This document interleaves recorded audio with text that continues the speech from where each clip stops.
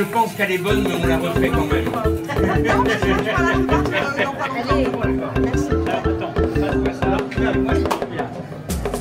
Ah, ah non, mais là, là c'est bien. Là, là, parce que là, là, je vois voir la scène devant la caméra. Là, donc il faut quand même pouvoir. Alors, filet de hareng à ma façon, avec écrasé de pommes de terre aux quatre épices. Ah, bravo Elle, est- elle est bonne ou j'en fais une Non, qu'on en fait une grande boum. Bon, voilà. Ronald. 68 l'année prochaine. C'est tout, mais bon, ça leur reste deux secondes. Tatiana. Qui est peintre Qui est peintre Qui est peintre Qui est belle Et qui est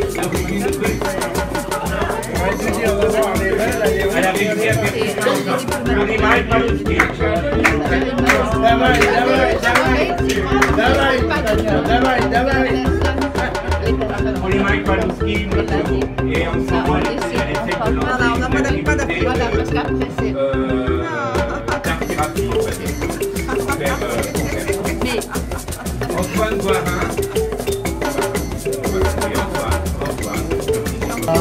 De toujours avoir une petite pensée pour mes parents. Voilà. Mon père, euh, aujourd'hui, là, lorsqu'il est, il y a 68 ans, devait. Oh, je vais pas dire cuver, c'est pas très gentil, mais peut-être il avait peut-être un peu la gueule de bois parce que je suis né à 4h moins 10 le matin. Je suis toujours debout, très souvent debout à 4h moins 10, je ne suis pas encore rentré, pas déjà levé. Et il a fêté mon, ma naissance avec un écrivain britannique. Oui, donc euh, voilà, c'est bien. Ça, on fait pas ce qu'on veut, mais voilà, c'est ce qu'il a trouvé, c'est ce que j'ai. Je regrette de ne pas lui avoir demandé s'il se rappelait du nom, peut-être que c'était quelqu'un de très célèbre. C'était Shakespeare. Par contre, maintenant que tu me le dis, maintenant que tu me le dis, Un doute. alors, je me suis souvent demandé quelle idée mes parents avaient eue de s'arranger pour que je naisse un 21 décembre. Parce que pendant toute ma vie, j'ai entendu, j'ai reçu un cadeau le 21 décembre et puis on m'a dit tiens, ça fera Noël. Ça fera Noël. Horreur. Mais je me suis rappelé d'une chose. Je me suis rappelé qu'il fallait 9 mois pour arriver. Entre le moment où on fait, où on plante la petite graine. N'est-ce pas? Et donc 9 mois avant, c'était le 21 mars. Ah. Et le 21 mars, c'était le printemps. Et je me suis dit que ce jour-là, mon père a trouvé ma mère encore plus belle que d'habitude. Et me voilà. Voilà, alors je suis pas très très fier vis-à-vis d'eux de, de tout ce que j'ai fait de ma vie, mais s'ils me voient, s'ils me voient entouré de gens de votre qualité, ils doivent dire que j'ai pas tout à fait raté ma vie. Et je vous en remercie.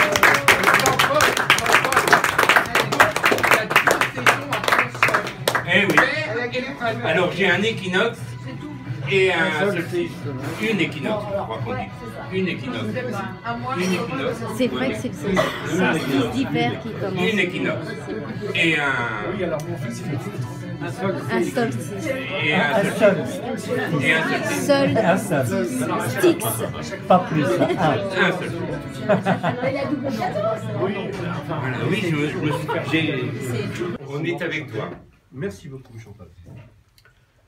Un jour, tu verras, on se rencontrera quelque part, n'importe où, guidés par le hasard. Nous nous regarderons et nous nous sourirons, et la main dans la main, par les rues nous irons. Le temps passe si vite, le ciel cachera bien nos cœurs, ces deux voleurs qui cachent leur bonheur. Puis nous arriverons sur une place grise où les pavés seront doux à nos âmes grises. Il y aura un bal très pauvre et très banal sous un ciel plein de brume et de mélancolie. Un aveugle jouera de l'ordre de barbarie. Cette terre sera pour nous le plus beau, le plus joli. Puis, puis je t'inviterai, ta taille je prendrai, nous danserons tranquilles, loin des gens de la ville. Nous danserons l'amour, les yeux au fond des yeux, vers une nuit profonde, vers une fin du monde. Un jour, tu verras, on se rencontrera, quelque part, n'importe où, guidés par le hasard. Nous nous regarderons et nous nous sourirons, et la main dans la main, par les rues, nous irons. Bravo.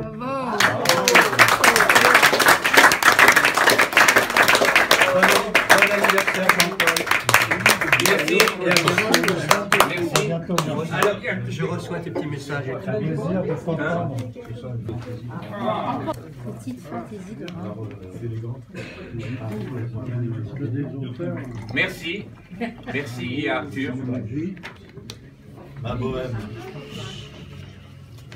Je m'en allais, les poings dans mes poches crevées. Mon paletot aussi devenait idéal. J'allais sous le ciel muse, j'étais ton féal. Oh là là, que d'amour splendide j'y rêvé.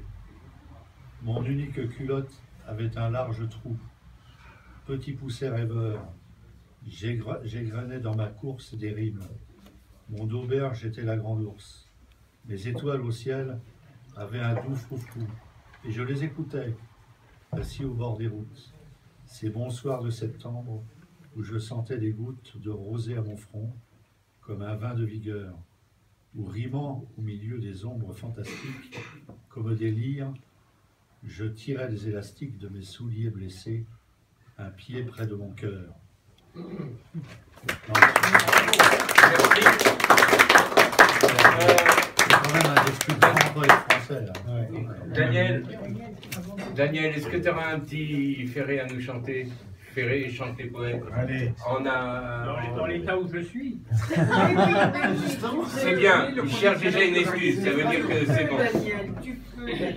Tu peux le faire. Tu peux le Tu faire. peux. Après le palais de Dieu, tu peux tout droit. Non, Tu rentres pas en vélo. Non, mais je rentre à pied, dans quel niveau Ça descend chez moi. À. Bon. Qu'est-ce que je vais vous raconter, vous faites Il a une histoire. Pour tout bagage, on a 20 ans, on a l'expérience des parents, on se fout du tiers comme du quart, on prend le bonheur toujours en retard. Quand on aime, c'est pour toute la vie, cette vie qui dure, l'espace d'un cri, d'une permanente ou d'un bougine, et pour le reste, on imagine. Pour tout bagage, on a sa gueule, quand elle est batte, ça va tout seul, quand elle est moche, on s'habitue, on dit qu'on est pas mal foutu, on bat son destin comme les brèmes, on touche à tout, on dit je t'aime, on soit la balance ou les lions, on s'en balance, on est des lions. Pour tout bagage, on a 20 ans, on a des réserves de printemps qu'on jetterait comme des miettes de pain à des oiseaux sur le chemin. Quand on aime, c'est jusqu'à la mort. On meurt souvent et puis on ressort. L'amour, ça se prend et puis ça jette. Pour tout bagage, on a sa gueule qui cause des fois quand on est seul. C'est ce qu'on appelle la voix du dent. Ça fait parfois un de ces boucans, pas moyen de tourner le bouton de cette radio. On est marron. On passe un examen de minuit et quand on pleure, on dit qu'on rit. Pour tout bagage, on a 20 ans, on a une rose au bout des dents qui vit l'espace d'un soupir et qui vous pique avant de mourir. Quand on aime, c'est pour tout ou rien. C'est jamais tout, c'est jamais rien. Ce rien qui fait sonner la vie comme un réveil au coin du lit. Pour tout bagage, on a sa gueule devant la glace quand on est seul, qu'on était échoué tout tordu, avec les ongles toutes les foutues. Alors on maquille le problème, on dit qu'il n'y a pas d'âge pour qui s'aime. Et en cherchant son cœur d'enfant, on dit qu'on a toujours 20 ans. 20 ans. 20 ans.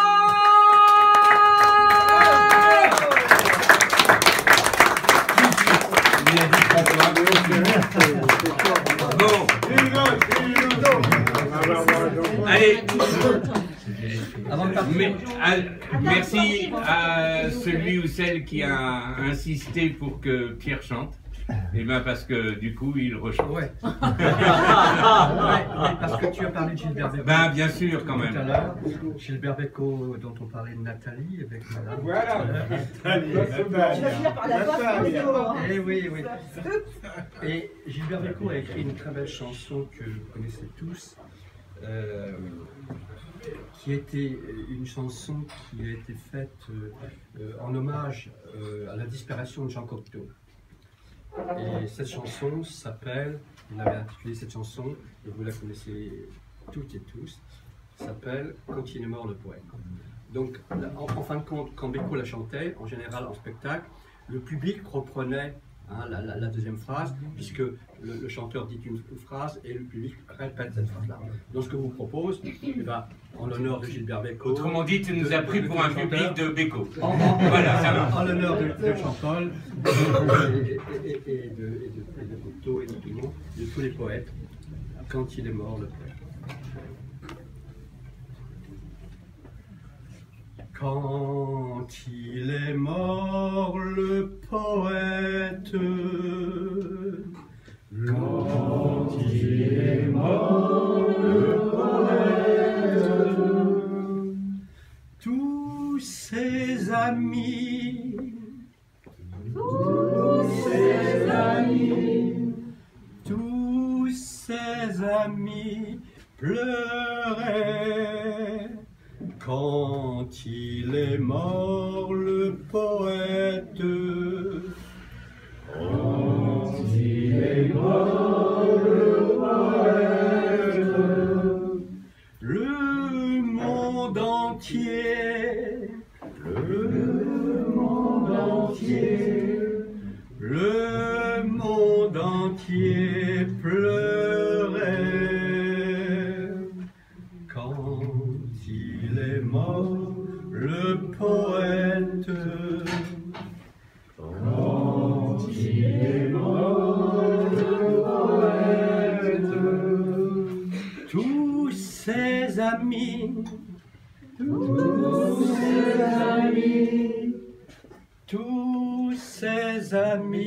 Amis pleuraient.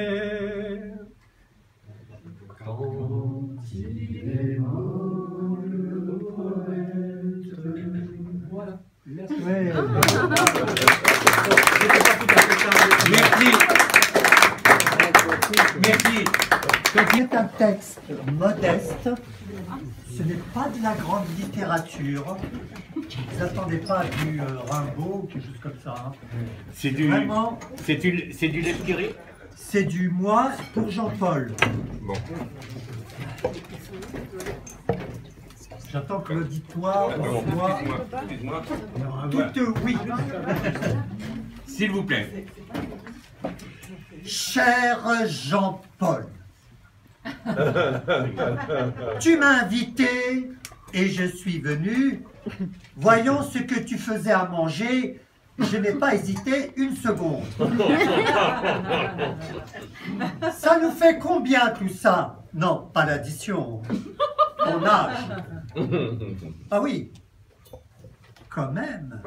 Euh, tu ne les fais pas. hein. Si, si. Tes amis te le diront. Les autres, ce qu'ils te diront n'est que méchanceté, crois-moi. D'ailleurs, si on est là aujourd'hui, c'est pour te soutenir, te dire que tu n'es pas seul.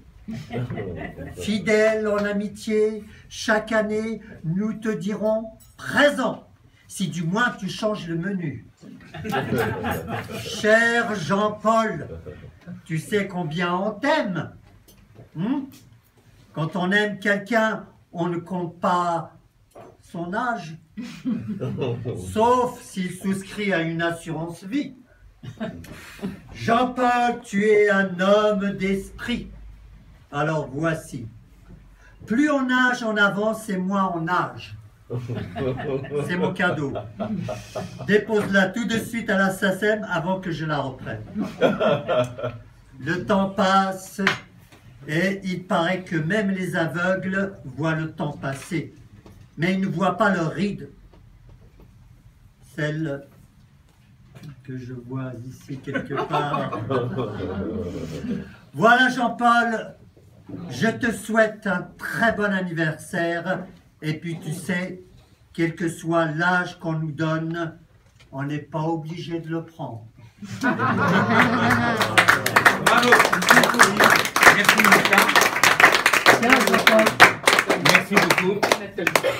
Je vais le garder, le déposer à l'assassin, on ne sait jamais. Et Patrick, alors, d'abord, y a-t-il d'autres gens qui voudraient, qui ont un petit texte qu'ils connaissent et tout, voilà Sachez, vous pouvez le dire. Euh, vous pouvez chanter une chanson. N'est-elle pas une invention de l'homme, une de plus, pour occuper sa vie, pour euh, tuer le temps? Comme si on avait besoin de tuer le temps, lui qui finira par nous tuer tous. Tiens, dans 50... euh, Allez, soyons fous Dans 100 ans Personne d'entre nous ne sera plus là. Heureusement. Et nous en serions là d'être là et nous chercherions l'au-delà. Après avoir été si dociles ici-bas, ici-là, ici et là, ici ou là, ici-bas, ici au sol Mais si là, tant là, et près de la crise de larmes, ouh là là Et dans l'au-delà, le sol n'est plus, on fait dodo. Ou alors on rêve en si. Non, non, non, en si. Avant de revenir au sol, se faire dorer au soleil et s'enlacer. Avant de se lasser et de repartir au-delà, telle est la mélodie de la vie, si, si, si, là là. Voilà.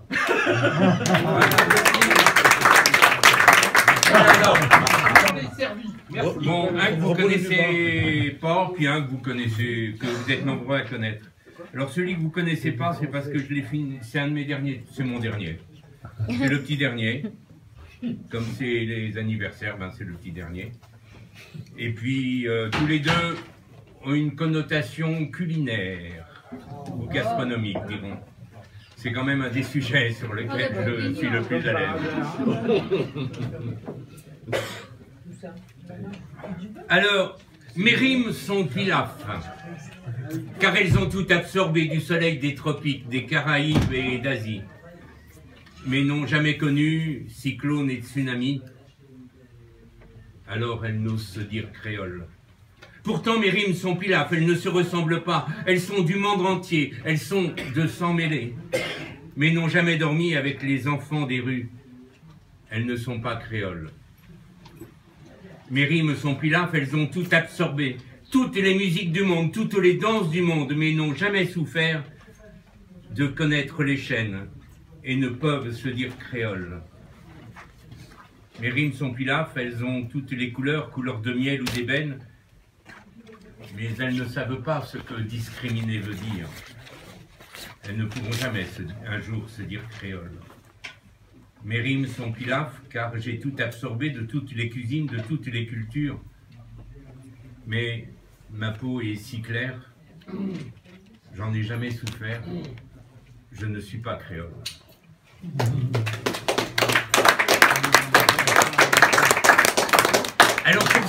Savent pas, le riz pilaf et le riz créole sont deux riz que l'on fait cuire à absorption. Voilà. Connotation culinaire. C'est-à-dire que c'est. Tu fais pas cuire dans l'eau puis ensuite t'enlèves l'eau, c'est il absorbe l'eau que tu mets. Te montrerai. Comme on m'a dit, la prochaine fois tu ne fais pas la même chose, prochaine fois vous aurez riz pilaf et riz créole. Voilà. Bon écoutez, l'amour, hein, c'est pas éternel. Hein on le sait. Et si on vit un nouveau grand amour, c'est qu'on en a eu un autre avant et qu'il a eu une fin. Mais à chaque fois, on s'imagine qu'il n'y a jamais rien eu avant et que celui-là, c'est pour la vie. J'étais en train de vivre un nouveau grand amour éternel lorsqu'un matin, elle me dit Qu'est-ce que tu as ronflé cette nuit? Ouais, J'en étais désolé, mais le soir, il y eut pire. Elle me dit Ton bœuf bourguignon est fade. Je compris que c'était la fin, puis elle ne dit plus rien. Elle fit sa valise et me quitta. J'avais compris que c'était la fin parce que, vous savez, je coupe la viande en morceaux, je la laisse mariner dans un huile Saint-Georges avec des herbes aromatiques toute la nuit. Puis, je fais revenir la viande avec des lardons, je remets un bouquet garni. Comment serait-ce possible que mon bœuf bourguignon soit fade? Alors, je me suis mis à écrire, à parler de tous mes malheurs et de mon éternelle solitude où, seuls m'accompagnent les souvenirs de ces moments merveilleux que nous vivions ensemble, que c'était beau. Chaque larme que je versais remplissait mon stylo, je déversais ma tristesse sur scène, le public adorait, J'allais de scène en scène parler du jour où elle m'avait dit Ton bœuf bourguignon est fade. Et puis un soir, à la fin d'un de mes récitals, vous savez, une de ces soirées où vous pensez vous faire sponsoriser par un fabricant de mouchoirs en papier. Ce soir-là où j'avais déversé tout mon désespoir à la fin du spectacle, une femme m'attendait ses cheveux étaient blonds comme le blé d'Ukraine, mais ses yeux bleus étaient rouges. Il y en a que ça étonne. Quand on pleure, on a les yeux rouges. Comme elle avait les yeux bleus, ses yeux bleus étaient rouges. Écoutez, enfin, je sais pas. Son visage humide me fit comprendre son empathie. Il ne fut pas nécessaire de nous parler longtemps. Elle me suivit chez moi. Il me restait du bœuf bourguignon. Adieu, larmes et solitude, plus de chagrin, plus besoin de pitié, je voyais tout en bleu. Ses yeux bleus ne rougissaient plus, pour moi, le ciel était toujours bleu. Et je lui disais des mots bleus, vous savez, ces mots qu'on dit avec les yeux, ces mots qui rendent les gens heureux. Quoi, vous connaissiez déjà J'ai essayé de le placer. Mais le seul bleu qui plaît au public, c'est celui des bleus à l'âme. Je ne remplissais plus les salles, je m'ennuyais sur scène. Le soir, je rentrais directement chez moi. Elle m'attendait. Et en amoureux, on se partageait un bœuf bourguignon. Puis je me suis souvenu, les chants désespérés sont les chants les plus beaux. Pour retrouver mon public, j'ai ressorti les textes anciens, ceux où je pleurais, où mon public pleurait, oui. Mais comment faire pleurer quand les seules larmes que vous sortez sont des larmes de bonheur? Quand une femme délicieuse vous attend, que vous savez que vous allez la rejoindre et que ce soir avec elle vous mangerez un bœuf bourguignon. J'ai cessé d'écrire. À quoi bon? Puisque le bonheur n'intéresse personne. Et comme je sais que celui-ci durera toujours, quoique, quoique il me semble que ce matin, elle m'a dit que j'avais ronflé. Ah, ça m'inquiète, ça. Enfin, c'est pas grave, je serai fixé ce soir, j'ai préparé un peu.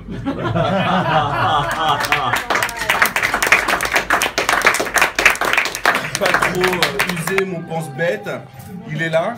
Euh, c'est mon souffleur, hein. c'est une balance, mais c'est mon écran. Et euh, ce texte commence comme ça un musical et tout. Je ne sais rien faire. Je ne sais rien faire. Je n'ai pas de bac pro. Je n'ai pas de BTS. Encore moins de CAP. Non, vraiment, je ne sais rien faire. Si ma voiture tombe en panne, on se regarde, elle et moi, comme des coqs de combat, se demandant qui de nous deux portera le coup de grâce à l'autre. Euh, je ne sais pas coudre. Si mon manteau se trouve, le vent viendra alors me rendre visite durant tout l'hiver et je n'aurai pas mon mot à dire. Je ne suis pas cordonnier. Alors je traîne le long des plages pour ne pas avoir acheté ni à réparer des chaussures. Non, vraiment, j'ai beau chercher, je ne sais rien faire de mes dix doigts. Lorsque j'ouvre une notice de montage, c'est déjà pour moi de la métaphysique. je suis né dans la caste des intouchables.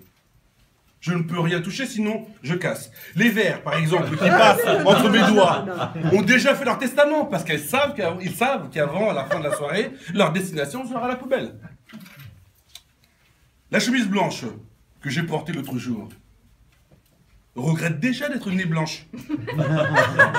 bon, alors, j'ai bien essayé de faire proxénète, mais là encore, je me suis retrouvé sur le trottoir sans savoir comment.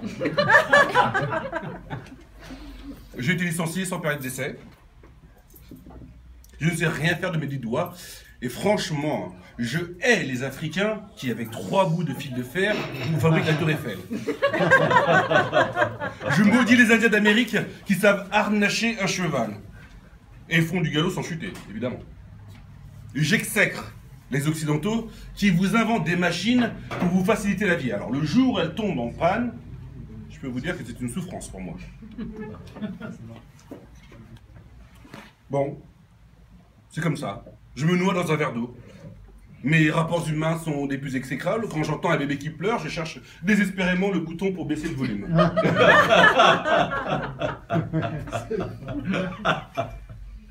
J'ai eu une révélation un jour. Quand un psy m'a dit, donc vraiment, vraiment, mais à court d'espoir, que j'étais un handicapé de la vie. J'ai su dès lors qu'il n'y avait pas de remède contre cela. Mais bon, à qui la faute si la vie a été livrée sans mode d'emploi, ni même de notice descriptive Alors du coup, j'ai réfléchi. Et j'ai passé en revue euh, et relu hein, tous les mots que j'avais couchés, là, et qui font sourire certains, et font pleurer d'autres. Mais je n'ai pas compris tout de suite que la solution était sous mes yeux. Même si je ne crée rien, la façon que j'ai d'agencer les mots, de les mettre en résonance, dans un sens qui fait sens, voilà après tout mon essence. La nourriture de l'esprit n'est-elle pas aussi importante que celle du corps? Tous ces mots, couchés, allongés sur des civières ou des chaises roulantes, sur des brancards, en intraveineuse, avec ou pas de pacemaker, qui prennent la tension, que l'on ranime à coups de défibrillateur, sont tous en patience dans ce grand hôpital que l'on nomme dictionnaire. Que serait-elle sans le thérapeute qui a le pouvoir de les mettre en éveil, de les faire danser Que deviendrait l'âme une fois le corps repu, rassasié? Quelle nourriture pour l'esprit? Gros et gras, sans le sport, attendant la mort. Alors je vous le dis, mes amis, l'aspirine de l'âme se nomme poésie. Et j'en prends mon parti. Et je continue de souffler sur les braises pour que le feu reprenne. Qu'un seul aime et d'autres suivront. Finalement, recoudre les mots. Voilà ma destinée. Parce que tout commence par le verbe. Pour construire la paix, c'est la première chaîne. Merci.